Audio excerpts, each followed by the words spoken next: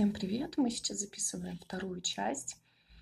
А, Ши... Э, связана у меня уже спинка. Вот она такая. И перед. Только перед немножко не довязан. Я, как и говорила, нужно... Э, вот я не стала довязывать последние три ряда. Вот здесь, как у меня ряд столбики, сетка и столбики. Да, я их не довязывала. Сейчас покажу, как это делать. А, чтобы спереди немножко все-таки был вырез а, не под самое горло, но все равно лодочка. Так, сейчас найду начало. Вот оно. Тут ниточки немножко мешаются. Вот, то есть вот этот ряд столбики, да, я его провязала, получается, частично. То есть вы смотрите на себя по примерке, да. Вот э, здесь у меня, ну, где-то, наверное, не знаю, сколько сантиметров. Не взяла сейчас свой а, измерительную ленту. Мне немножко сейчас в другом месте снимаю. Вот, если смотреть на все изделие, да, то, в принципе, немного, потому что э, хочу сделать, чтобы наверху был такой довольно-таки большой вырез. Дальше я сейчас не пойду. Вот я провязала э, первый из трех рядов. Теперь мне нужно будет сейчас э, вязание развернуть. И теперь надо будет вязать э, сетку. Только чтобы сделать небольшой э, скос, более гладкий, я буду делать это из следующего столбика. То есть вот развернула вязание, провязываю в следующий столбик, во вторую петлю, соединительный столбик. И уже отсюда начинаю провязывать сетку. То есть делаю 3 воздушные петли, четвертую петлю, накид и пропуская одну петлю здесь, вяжу столбик с накидом. Вяжем обычную сетку, да, только уже на, один, на одну петлю подальше. И все, я повторяю это до конца ряда. И вы тоже. В конце ряда из-за того, что мы вначале сделали на одну петлю меньше, а, в конце у нас сетка, э, ячейка не получается, поэтому просто подряд провязываем два столбика с накидом. От этого внешний вид совсем не испортится как мне кажется. Может, перфекционисты со мной поспорят. А, и все, нам осталось вязать последний третий ряд. Делаем 3 воздушные петли, вязание разворачиваем и вяжем ряд столбиками с одним накидом. Теперь в конце я также хочу сделать на одну петлю поменьше, поэтому провяжу сейчас один столбик просто вот сюда. А за петлю уже провязывать не буду ничего. Делаю одну петлю еще, вытягиваю чуть-чуть и обрезаю. Да, сейчас просто со второй стороны нам нужно будет а, вводить нить заново. Подзатягиваем ниточку и все. Вот у нас вот так получилось, да, спереди чуть-чуть посильнее будет вырез. Теперь нам со второй стороны нужно сделать то же самое, да, а, но так как у нас есть четко выраженная лицевая сторона и изнаночная, да, вот как у меня лицевая сторона именно в том месте, где у меня лицевая сторона столбиков с одним накидом, потому что все-таки они с обратной стороны более объемно смотрятся и будет отличаться. Хотя, конечно, а, наверху два этих ряда, может, э, ничего не решат. Наверное, все-таки лучше отсчитать. То есть вот вы связали, да, мы вязали здесь с краю. Поэтому сейчас отсчитаем, сколько, да, здесь э, петелечек где вот этот последний столбик, и на этой стороне находим и э, начнем вязать отсюда. У меня это седьмой элемент, вот если я считала по вот этим штучкам, да, конец седьмого элемента. Так удобнее считать, конечно, чтобы не каждую петлю. Все, мы ввели нить, делаем 3 воздушные петли и начинаем э, вязать также просто ряд столбиками с одним накидом. Да как и до этого мы все это делали.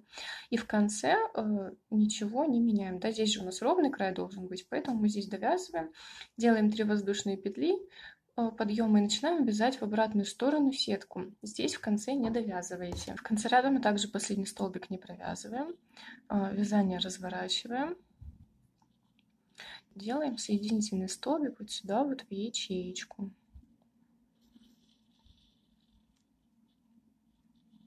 Вот так. Теперь отсюда делаем 3 воздушные петли, накид и начинаем вязать вот с этой петли. да, то есть мы здесь опять у нас э, получается, что меньше на одну петлю будет в этом ряду.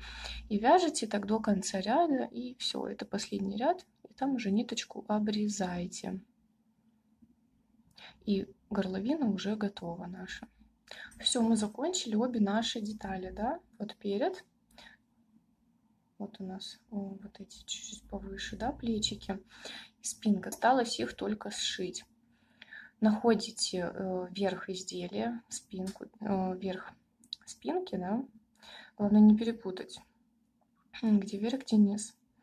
И э, прикладываем их лицевой стороной друг к другу перед и спинку.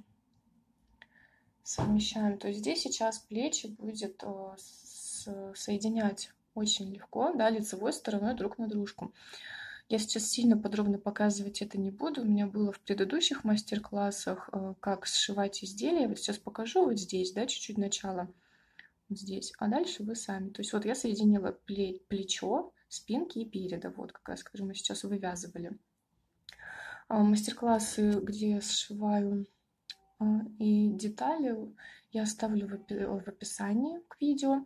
Это есть э, конкретно а, чисто посвященный этому мастер-класс. Это там я а, сшиваю вместе бабушки на квадраты. Принцип тот же самый. А, и еще второе видео, это где я вяжу топ, я напишу вам минуты, секунды, да, где начинается именно процесс сшивания деталей. Итак, сложили, да, и здесь все просто. Здесь просто находим крайние петли,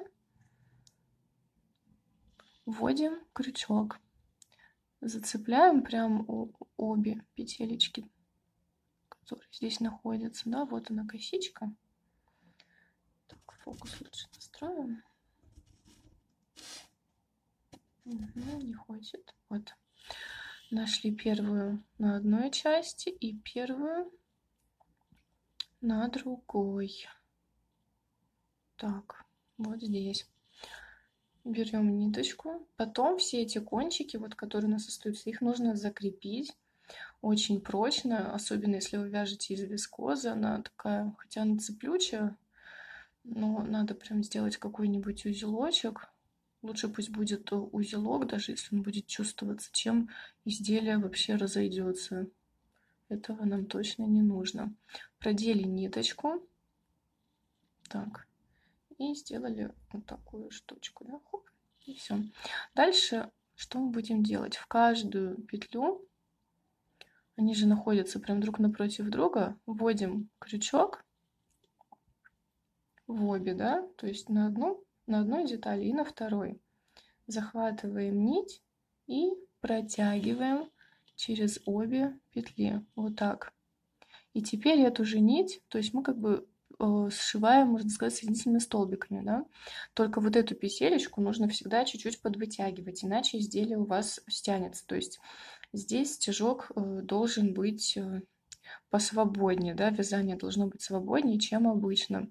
Повторяем опять, вводим крючок в эти петелечки, вот они, захватываем нить, вытягиваем и протягиваем эту же нить через эту петлю. Вот и все. И так, таким образом сшиваете вот до сюда, да. Второе плечо точно так же сшиваете соединительными столбиками просто. А вот сбоку, сбоку будет немножко посложнее. Лучше идти вам снизу, чтобы не запутаться, да. И важно будет следить, чтобы ничего никуда не уехало. То есть если мы сшиваем вот здесь а, ряд столбиков, да, то это вот и на одном, и на другом изделии ряд столбиков, да, ячейки с ячейками. Все это четко проверяем. А, тоже так же соединительными столбиками. Здесь вам придется уже искать место, куда вводить крючок. Но важно, чтобы это место, так, прошу прощения, было идентично э, на второй детали это должно быть точно такое же место. Здесь, где нет петель, придется как-то находить место, да, куда вводить крючок. То есть вот, допустим, от столбика вот эти петелечки, да.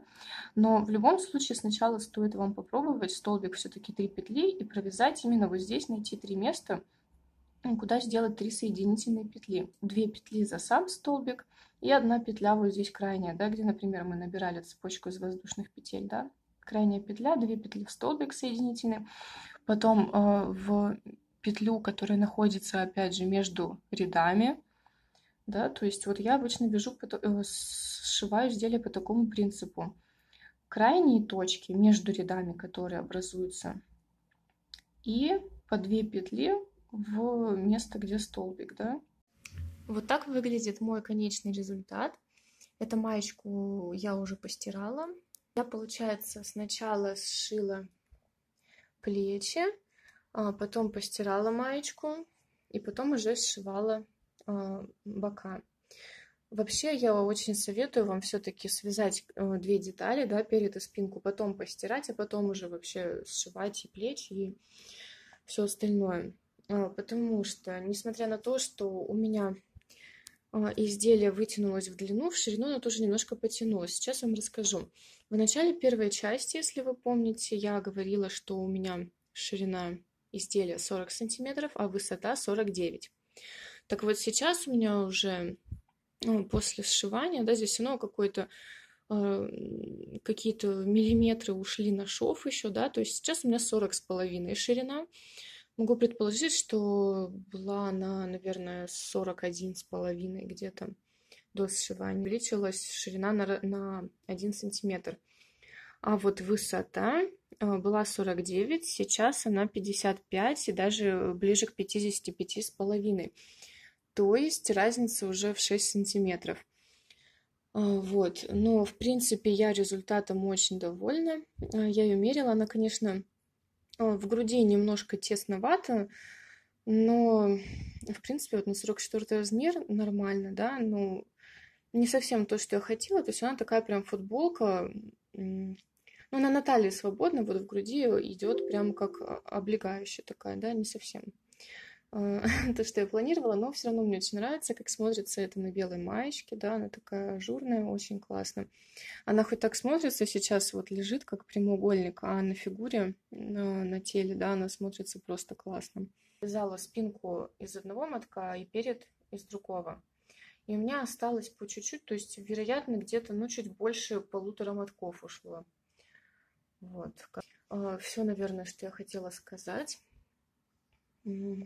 Бежите тоже такую маечку, она действительно смотрится просто суперски. А, желаю вам удачи и пока-пока.